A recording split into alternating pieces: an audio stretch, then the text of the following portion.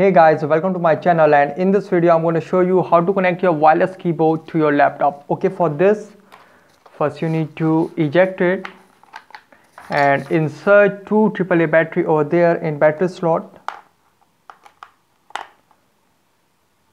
Okay, now it is successfully inserted. Now close it.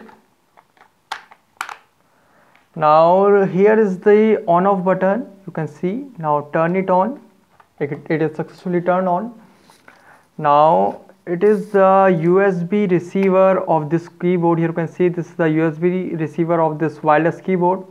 Now insert this USB receiver to the USB port of your laptop. Now it is successfully connected. Now open text file